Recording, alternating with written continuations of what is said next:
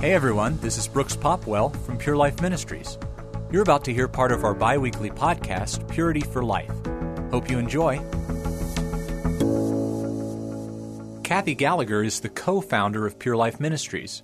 Thirty years ago, it was the struggle that she faced along with her husband Steve as he dealt with his own sexual addiction, which started her ministry to women. And now she tackles some questions to help and encourage other hurting wives who are wondering what to do next as they face their husband's sin.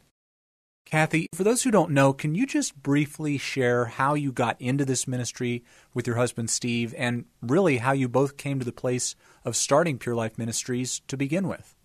Uh, we started Pure Life Ministries because, um, well, our lives had fallen apart because of sexual sin. Steve was out of control, terribly addicted to pornography um, and illicit sex with other people. And I finally got to the place where I just couldn't handle it anymore, and I filed for divorce.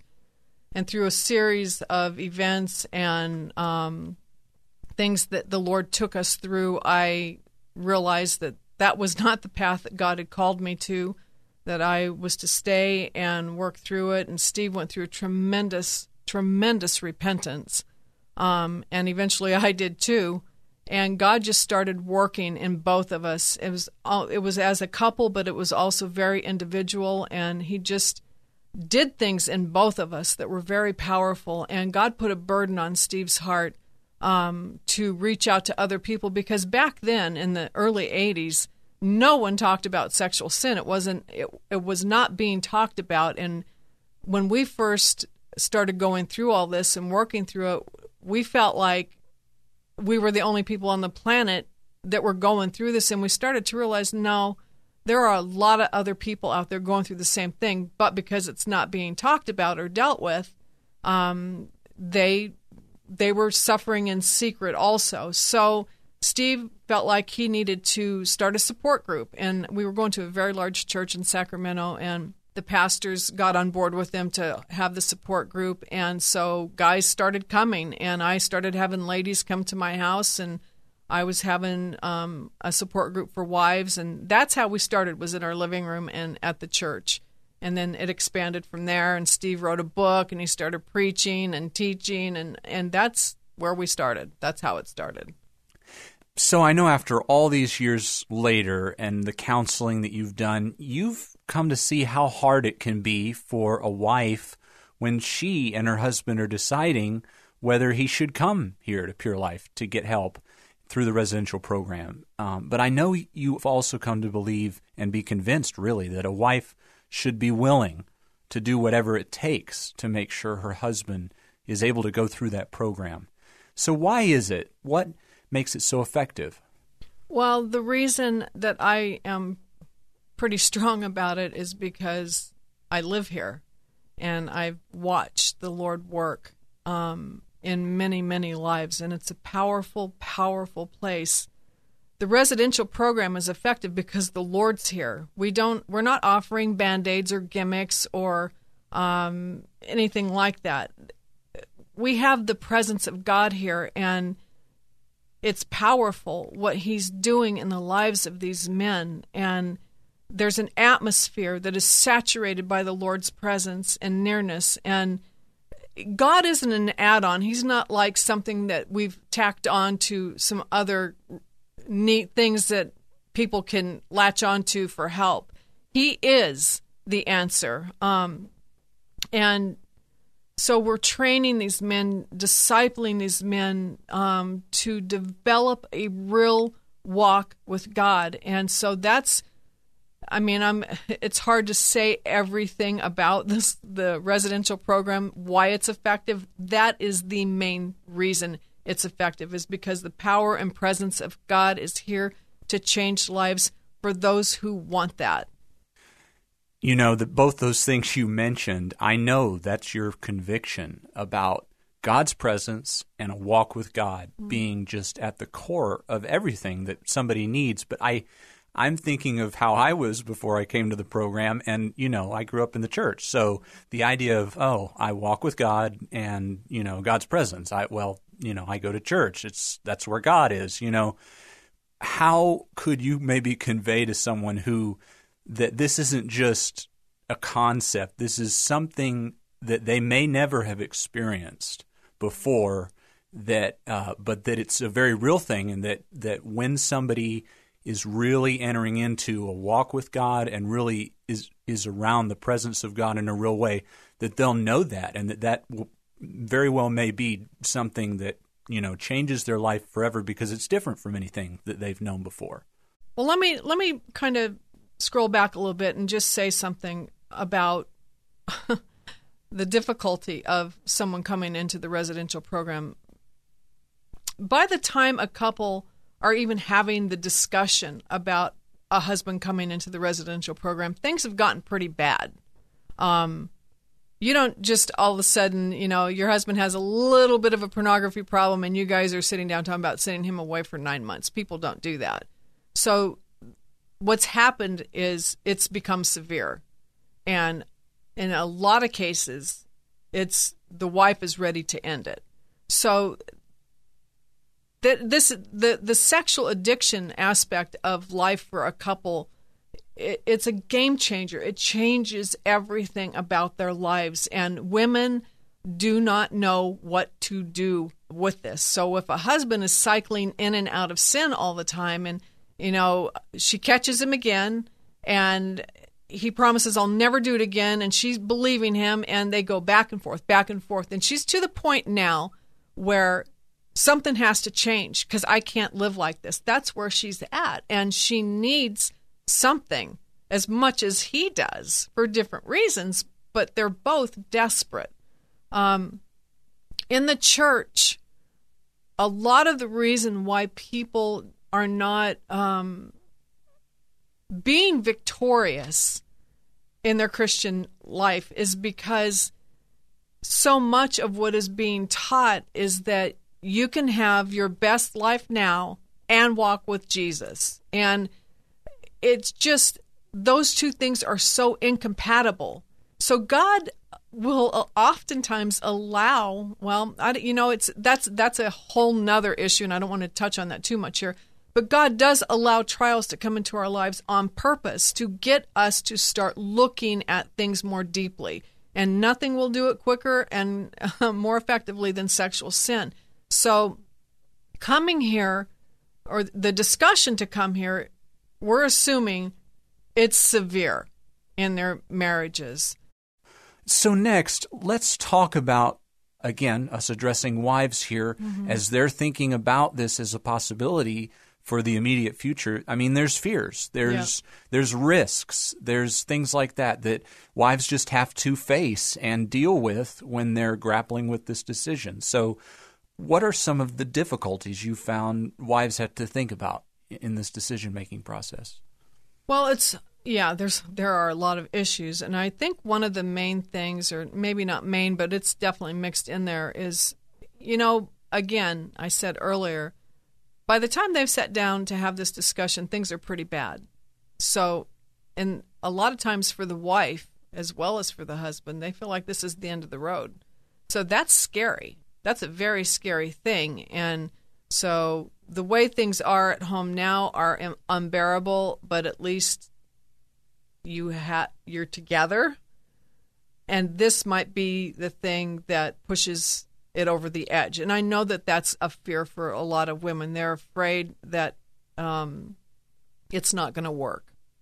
That's that's the thing that you know he's going to go away for nine months. I'm left here with the kids, the money, the whole that whole thing, that total insecurity of him being gone for so long and then he comes back and he's not changed. That's a huge that that's big.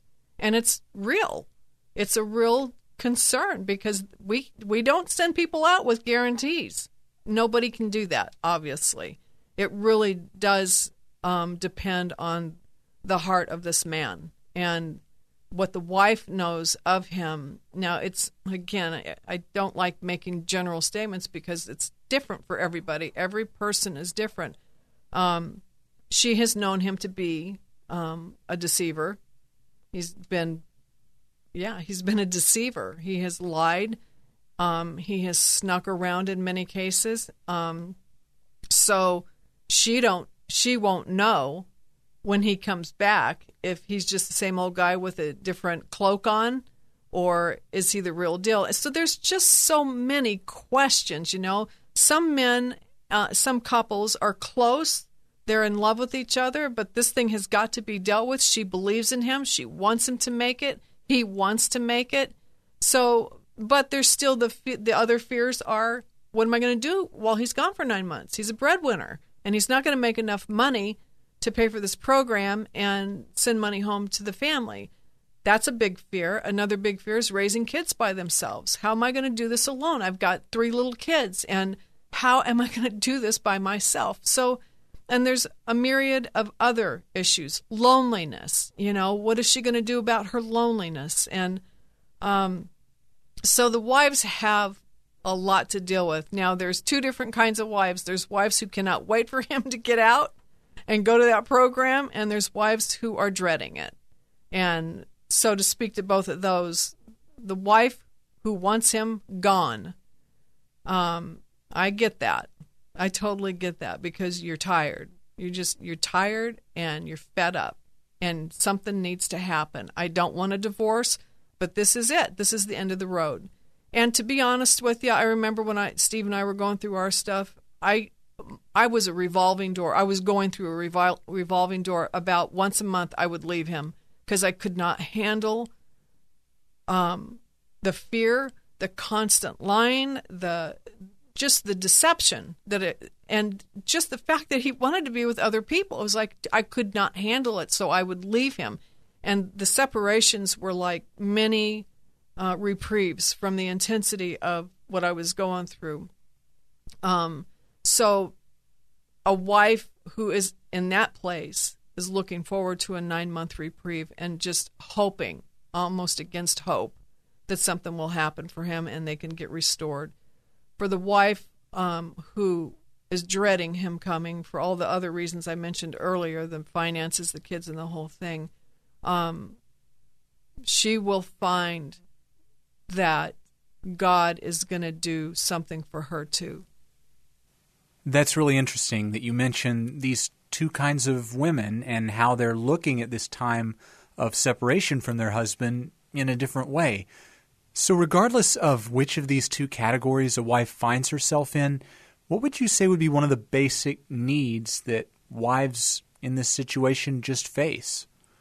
One of the things that women, whether she wants him to go, whether she doesn't want him to go, what both wives desperately need is a lot more faith and a lot more trust in the Lord. And um, having your husband leave helps that a lot because you don't have anybody else. You have to depend on the Lord. And that's one of the things about it, as painful as it is, that's one of the beautiful things that comes out of him leaving. You you have to get your eyes off of him. You have to. He's not there anymore. And you're not living looking over your shoulder wondering where he's at. He's here and you're there. And some women have to go through a period of maybe a month of just grappling with and getting adjusted to being there by yourself. But I, if your heart is in the right place, what's going to happen is your faith is going to, it's going to grow. And you're going to learn to trust the Lord and you're going to learn to cry out to the Lord in faith, not in desperation. Well, yeah, desperation, not in despair.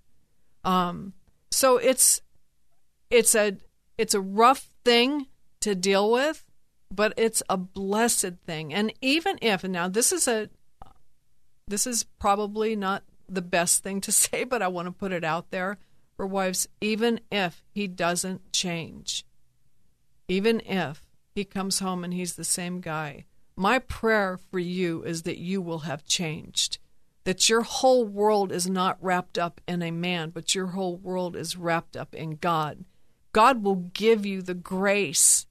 He has the power for you to go through anything. So, you know, I just feel like it's a very huge thing. It's almost like the wife is going through her own program um, while he's away. So it's it's important to um, stress the um, the value of what's going to happen for her while her husband's away because God is going to work in her life. He is going to work in your life. He is going to do things in you. It's this event in your life that's going to cause you to come closer to Christ than you've ever been before and it's it's powerful.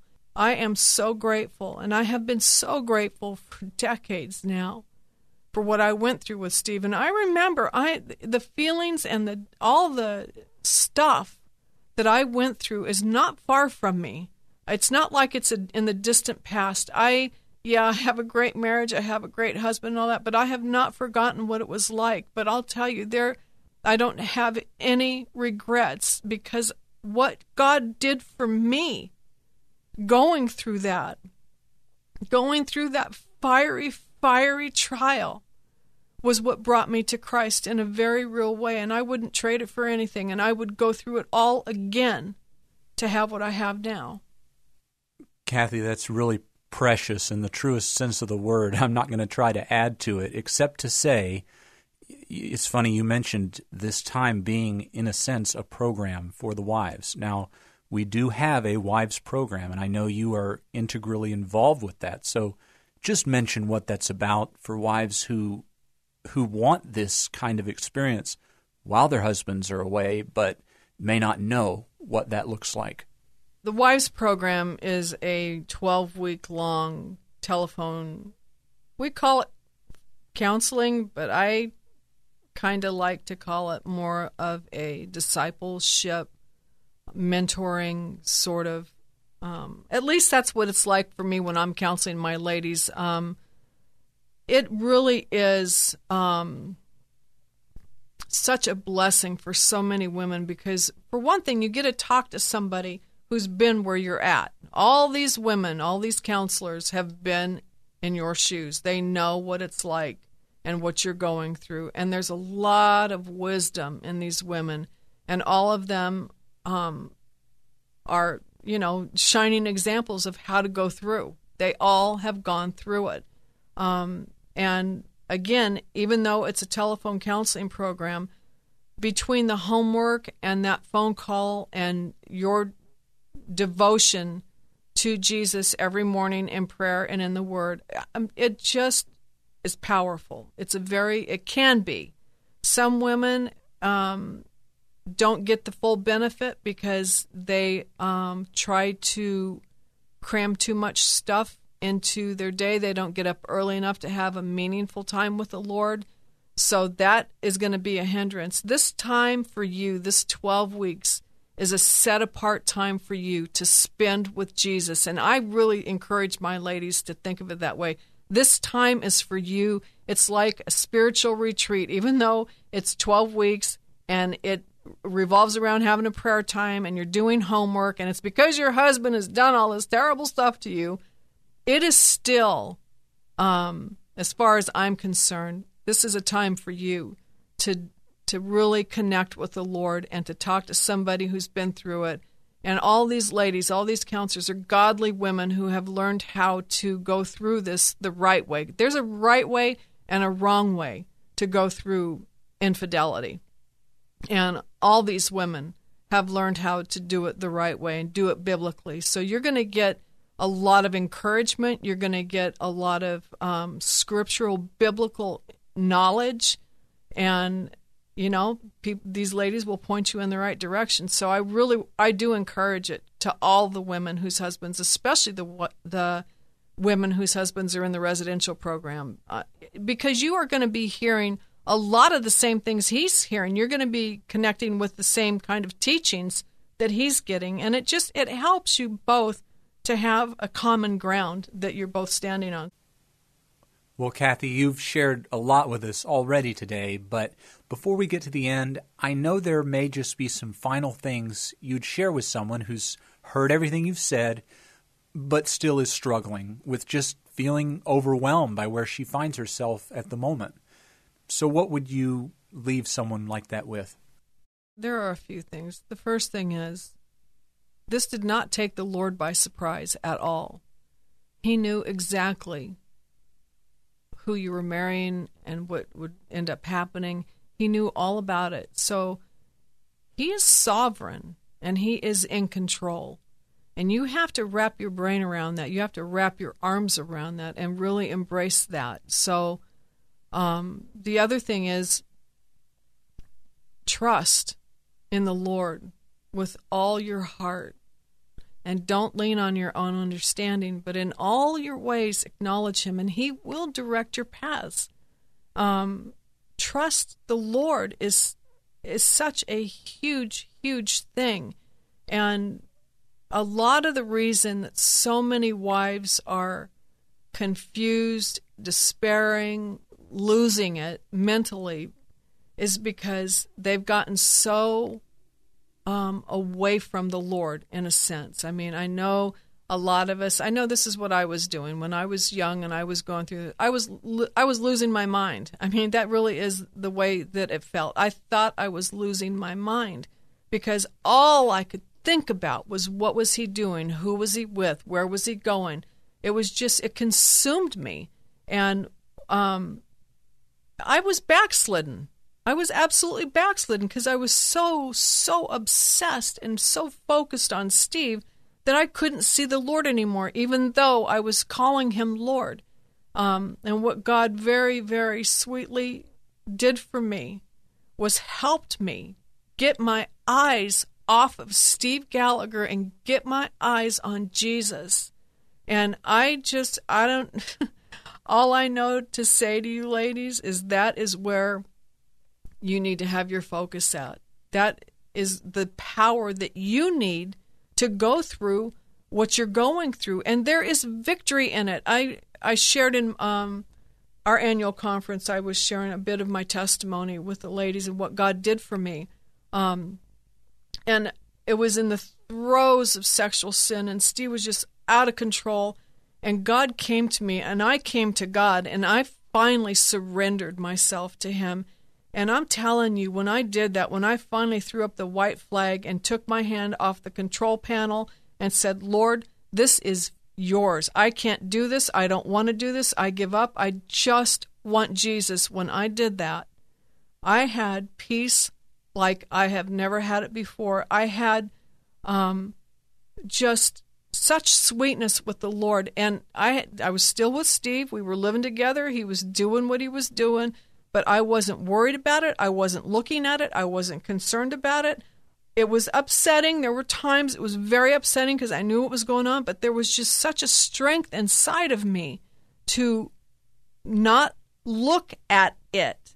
I was looking at Jesus, and that's what I want to encourage you ladies to do. Just keep pushing back on the fear, keep pushing back on the temptation to look and to go figure out what he's doing and you just have to take your hands off of everything and trust the Lord to get you through this. He will give you the power and the grace to follow Jesus and to trust in Him and to not live in this constant fear and obsession with what He's doing. Thanks for listening. You can find Purity for Life on Apple Podcasts, Spotify, or wherever you get your podcasts. Or just go to our website, purelifeministries.org slash podcast.